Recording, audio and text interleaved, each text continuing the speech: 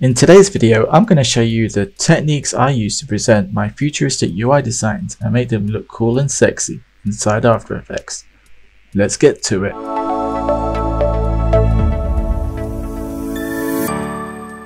So another thing I wanted to show you is how you can present your UI animations in a more interesting, cool looking way um, to get someone's attention, whether it's on your Behance profile or on Instagram.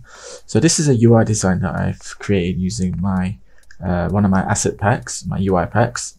It's just a collection of around uh, 100, uh, sorry, 350 different elements. And these are just eight of them that you can just drag and drop. Let me just quickly show you how this is made. Um, so I've got eight different uh, pre-rendered assets, they're all video clips, and you just basically drag and drop onto a comp and you've made a UI within seconds. And where this would have probably taken you about a week to do. Well, maybe four or five days. It would have taken you a long time.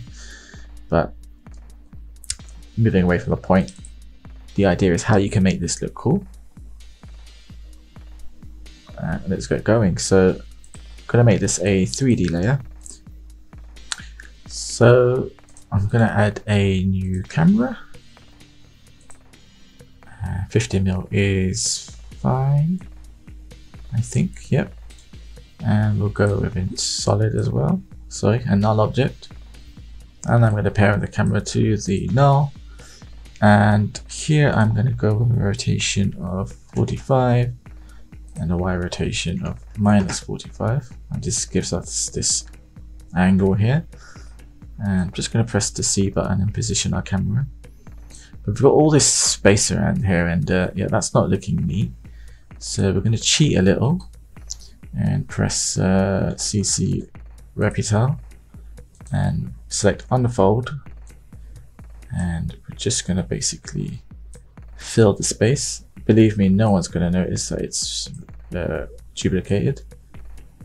Probably not unfold then. Go re repeat. So that's looking, you know, nice and full and our primary focus is going to be on this area here. So we're not done. Uh, so we're going to create a depth map. Uh, so we grab a solid. We'll create one since I don't have one in this new project. Uh, but for this one, you can see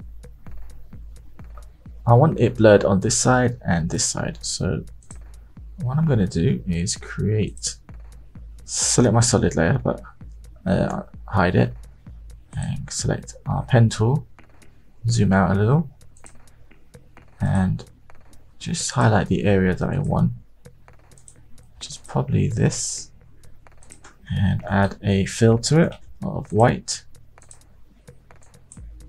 Let's just see what we're doing. Feather this out. That's fine. We've got some feather here, feather here, feather here. And again, we'll call this blur And We won't need that anymore. Bring in our adjustment layer.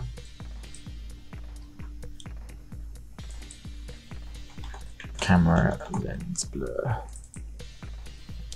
And the same again, we're gonna push this to about 15. Let's bring our effects controls here so we can see it better. And select our blur map, make sure effects and mask is set, invert it. Okay, so that's looking cool. I'm gonna bring in our solid again, and this time I'm gonna add a four color gradient and change this to screen. That gives a bit of our black. Oh, that's not looking neat. What I want is just a slightly uh, black bluish UI color. So everything's going to be dark. But I want this side here to be almost like a blue because it's going to fake light coming this side here. Yeah, that'll do. And we'll just increase that jitter. And this bottom color here, which is number three, Let's give that a little bit of color as well. Okay, that's looking better. Alright, what else can I do to make this cool? So,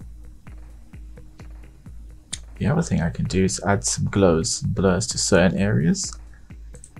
But just before I do that, I always add like adding a noise of about 4%. So I'm happy with my blurs, but I want a couple of highlights. So what I'm going to do is duplicate this layer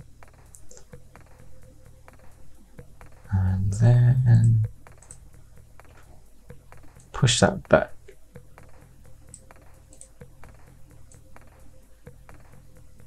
And then just tweak the opacity. This just gives us more depth.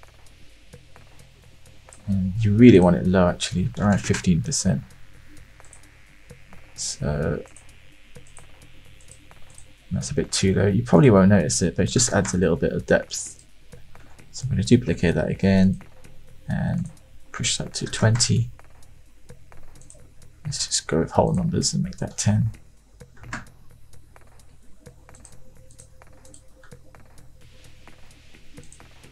Let's put these underneath. So this one should be 10%. Okay, looking better. Let's go back to our blurry option. So I'm going to duplicate our top layer. Uh, just solo this for a second. I'm going to add a fractal noise. And then I'm going to adjust it So I only want a couple of white splotches in a few certain areas. So let's transform this, scale that up, change the brightness, it's fine, it doesn't matter, that can look rubbish. I'm going to add a multiply. Then I'm going to add a glow to this.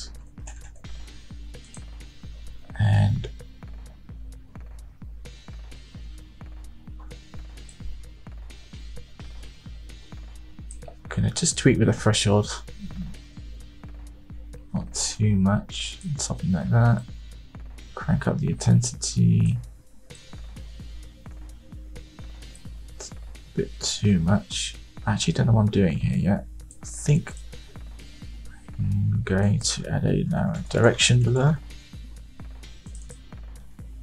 Crank this up. and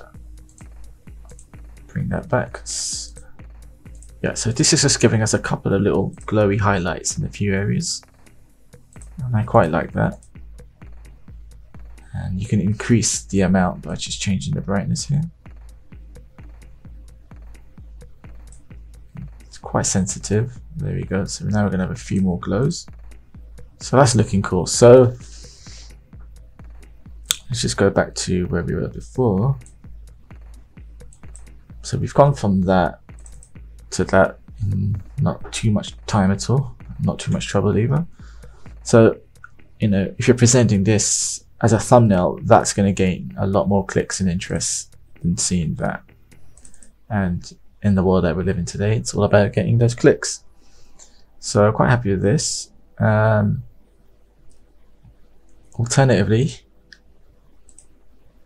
yeah, I'm gonna create a, another camera. And let's just try and have a look. In fact, I'm just gonna undo that.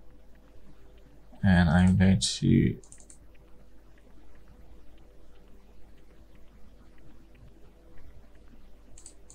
gonna start from scratch actually, another one. So getting a new camera so I'm going to try a different angle. Let's make that sure that's a 3D layer. I probably want something like this. And I'm just going to be lazy and steal my RepeTile settings, paste them in. So I'm press pressing C and just positioning my camera somewhere there. Cool, and I want my focus here. So this time I think we should be able to get away with the built-in camera from After Effects. Let's see how this is going to turn out. Up. Maybe not so much.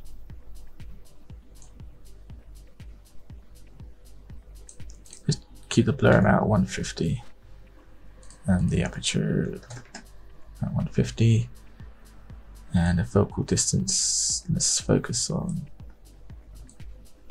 somewhere around here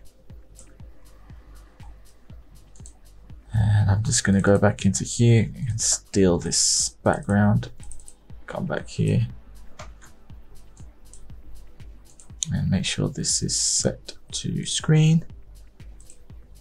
So we've got that light coming in here. So yeah that looks cool as it is.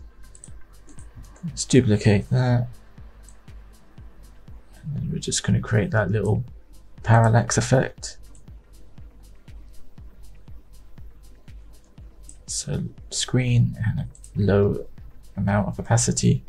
Duplicate press P push it back let's go with 10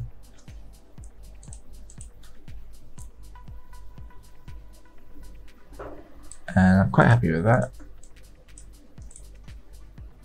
Yeah so that was pretty quick. Um, we can also add our glow effect again. So let's go back into here and steal these three. In fact, you should be able to just to copy this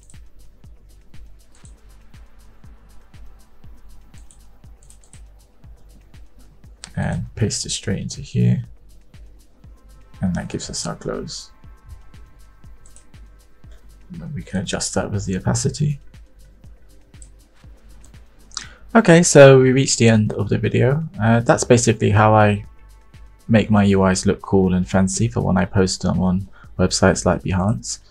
Uh, so here's an example uh, of the uh, HUD pack that I mentioned. So, you know, I just use the same techniques here. Blur, camera angle, and glows. Uh, so yeah, exactly the same techniques there that I used. And uh, yeah, it just make sure designs look better than how they actually are. Uh, so that's actually how they are in real life. Nothing wrong with that but it doesn't really sell and it doesn't really capture people's attention. But you know, glow, blur, and depth does. So that's what I do. Um, yep, hope you found this video useful and I hope you use these techniques for any UIs you make.